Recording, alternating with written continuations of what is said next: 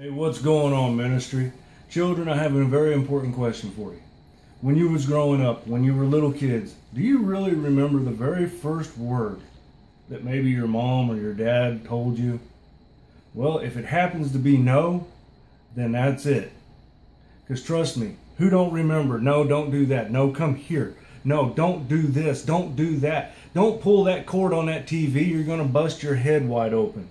Well, no was a word of foundation. It is a word that gets you going. It, it, it, stops you and makes you think. It's a correction kind of word. Our earthly parents were given that word to keep us from actually getting ourselves either hurt, maimed, or killed. Well, our Heavenly Father uses that word to correct us while we're here, while we're here visiting. Problem is, like spoiled children, when we were little and our parents are yelling no at us and we keep doing what we want, we still do the same thing.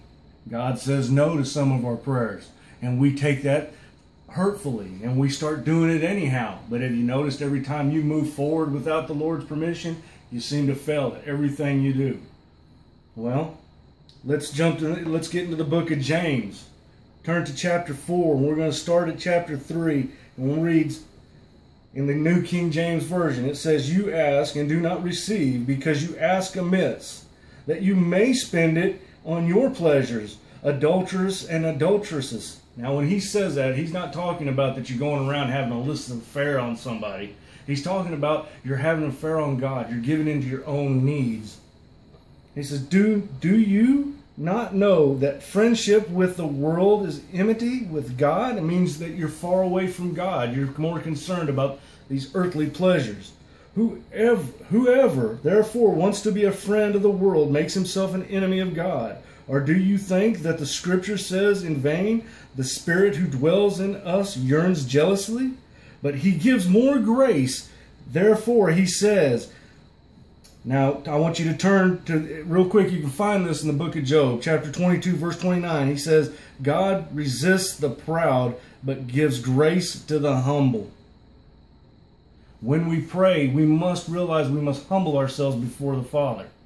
When He tells us no, He knows exactly where He wants us to be. It ain't that He doesn't want you to receive something. Jesus Christ Himself says, if you ask it in my name, the Father will deliver. He'll give it to you. But He'll only give you the things that He knows that are going to advance you, not hold you back. He wants you to be a success for Him, not a failure for you. Now jump back in, in the book of James. Let's move, let's go backwards to chapter 1. Start at verse chapter 1, verse 16. And it says, Do not be deceived, be my beloved brethren. Every good gift and every perfect gift is from above and comes down from the Father of lights, with whom there is no variation or shadow of turning. That means there's no question what he gives you. What he wants to give you, there's no question. You'll know it. Of his own will, he brought us forth by the word of truth, that we might be a kind of first fruits of his creation. Like I said, he wants you to be a success for him, not a failure for you. Now, do you remember when you read when we read, when you read about Lot? Now Lot, he was told to get out of the city, grab his family, and go because the Lord was going to send his angels with great vengeance to level it. Well, he grabbed his family, he's running up the hill, and they were on that path. And well, what happened? Lot's he, God said, "Do not turn around." Well, that's basically saying, hey, check it out. You want to turn around? No. Well, what happened to Lot's wife? She turned into a pillar of salt. Instead of becoming a, a, a the, the, the flavor of the earth that the Lord wanted, she turned around thinking of what was behind her. No. When the Lord says no to something, that's because He's wanting you to have much more than you think you're possibly worth. Quit worrying about the no. Once a no is in fact, it's your past. And what's God say about your past? Leave it behind you.